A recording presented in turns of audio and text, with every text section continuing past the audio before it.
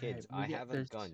You better give me the VIP pass to the water slide. What's VIP pass? I don't have one. Don't Well, threaten you- me. I'm not talking to you. We're the kids. Gotta get the kids. It's guns. 5 a.m. Okay, that's a good point. I'm just kidding. Disclaimer, guys. Do uh, don't do what I just did. Okay, I was just joking. It was. um, Alrighty. it was funny.